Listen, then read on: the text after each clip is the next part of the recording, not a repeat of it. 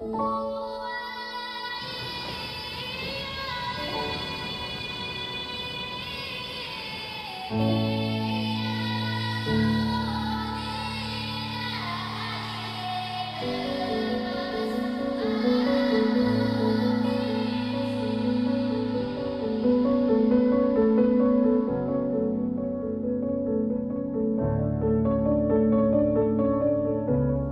are deeply grateful for the international community's continued support for Taiwan.